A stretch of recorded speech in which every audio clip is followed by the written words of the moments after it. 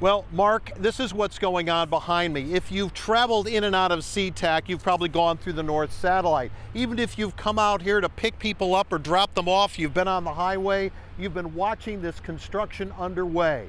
Now we can take you inside.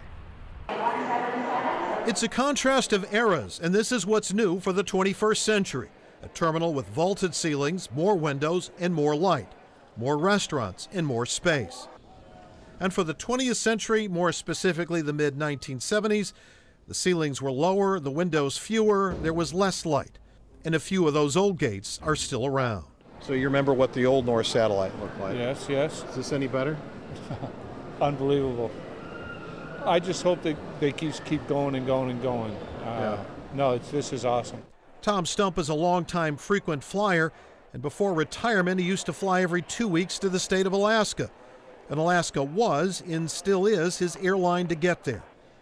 And up there, you can see another part of this a mega lounge, nearly 16,000 square feet.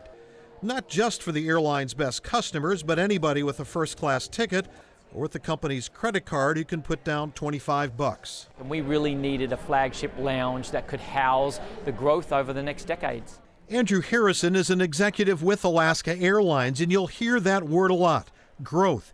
He's watching the growth at SeaTac, where Alaska is the airport's biggest tenant, but the growth of the airline itself, now the nation's fifth largest. Frequent flyers help keep the lights on. This is a step change in catching up to the demand and allowing there to be a bit more room and space uh, for guests to travel as they move out of SeaTac. So this has been a long time coming, but very, very necessary. So, this is the outside of what we've been showing you, the expanded part of the North Satellite. And as we go over here, you can see they are already reworking, remodeling, and redoing the old North Satellite. And if you get far enough, you can see N9 and N8, two gates. That's what it used to look like. And when this is all finished in about two more years, what's old will be new again. A gain of eight more gates for an airport that in 2018 was still growing at a rate of more than 6%. Lance Lyttle is chief executive for SeaTac. We're going to be in um, basically an expansion mode for decades to come. Now it costs more than $600 million for this expansion. Remember, the SeaTac is owned by the Port of Seattle, but they say no tax dollars went into this. All of this was paid for by the airlines, and Alaska paid for that expansion.